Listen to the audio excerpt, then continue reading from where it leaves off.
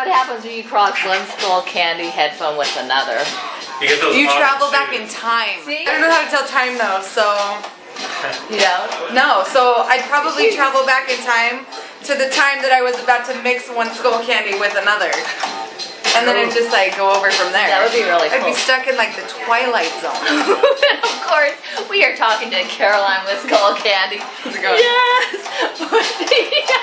We had, we're having a good time, We aren't we? are, we are. We've had a good week so far here, Joyce. We really have. And we are at the official ESPY gifting suite here for the ESPN ESPY Awards. We are ESPY Awards, where all the athletes, you don't even know who they are, come to your gifting suite. And then you get to meet them. That's right. And then you Isn't become that instant cool? sports fans. It's the best. Well, I want to ask you about. What, do you want to talk about athletes first or skull candy? Let's talk about skull candy. Oh, I don't even like athletes. Oh no. Yeah, we're at the ESPY Lounge. she adores athletes. Oh, They're my favorite. okay. So skull candy. What do you guys have me that's cool? These look really cool. Yeah, we're we're doing great. Um, collabs. We kind of the guys are obsessed with sneakers, so they love to match sneakers with their headphones. Like this year, we did um, our mix master is our DJ um, our DJ headphones. It's a true sound, DJ articulation. We've got a mute. We have dual channel going to mono channel. We did a World Cup for the soccer game, so we were able to make a select amount. We only made X amount of them, and they're- went to all the players in their locker room down in South South Africa, and so that's our World Cup. We have So these these are the World Cup headphones then. These are the World he- headphones, yes. And then these, Derrick Rose from the from the Bulls. And, and then we've got obviously Mixmaster down here. We have the Celtics, who fortunately lost to the Lakers, my team, for the NBA playoffs this year. So, th- so this is one of my favorites, is the Kobe.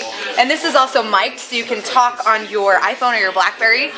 yes. So I'm kind of addicted. I always have a pair of headphones on. I'm always talking on my phone, and I I like to be hands free. So I'd say I'd say not only the look and obviously the fantastic e- um, equalizer that we put in our headphones. I would say.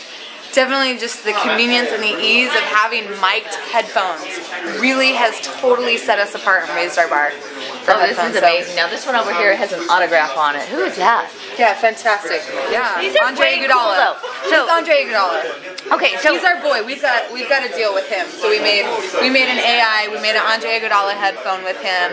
He's our boy. We rep him well. He reps us well. So when you are looking at all these headphones and you're seeing them with these sneakers, do you like pair them on your website or something so people know how they should match them? We put them in the together? collections. We have a collection with with each headphone. We'll we'll do like a shoe blue and in an icon and in a um, lowrider and. So we, we like to put them in families. And for us OCD people, it keeps us organized. Oh, that is so cool. The other part over here is you have something else that's a little bit different.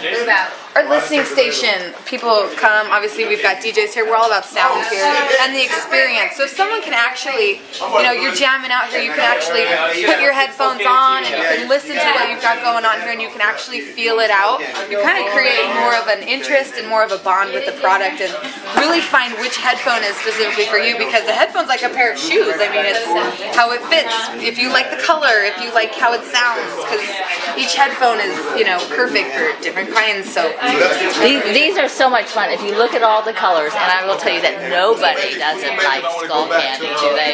nobody doesn't like skull candy. We're super stoked on that. And since we're at the ESPY Lounge, real quick, because I know you have some people waiting here for you.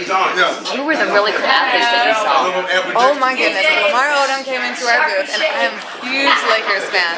So I love my LA. So Lamar Odom, pro- uh, probably one of my favorites. But um, we've had some really, we've had some really good times with a lot of athletes that come through. Um, we had Eddie George, we had um, Sean. We were not going to quiz you on all of them, but I know that you had a ball.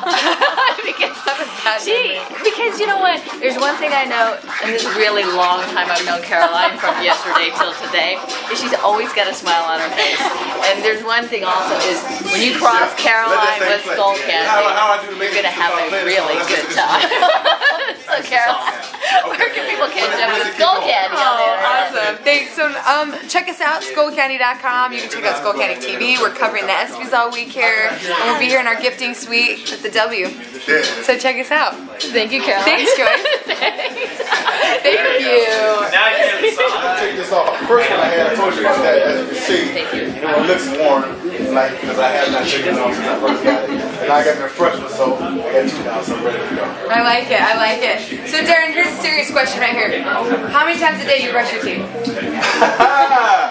I stick to the regimen of three times a day. Three times a day. Make sure you brush your tongue, and make sure you rinse also. Perfect. That's how you get this.